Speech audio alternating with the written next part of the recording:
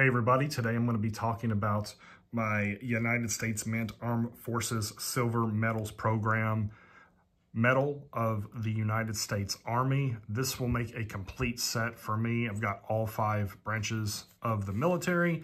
Uh, let's check out Army, see what it looks like. Comes in a slip case, set that to the side. See United States Mint there on the cardboard box. Open it up. Certificate of Authenticity can read all about it. Here's the actual metal.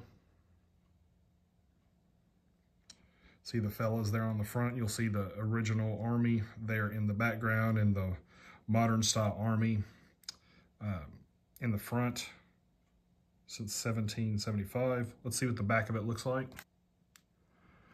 You'll notice there it has flag,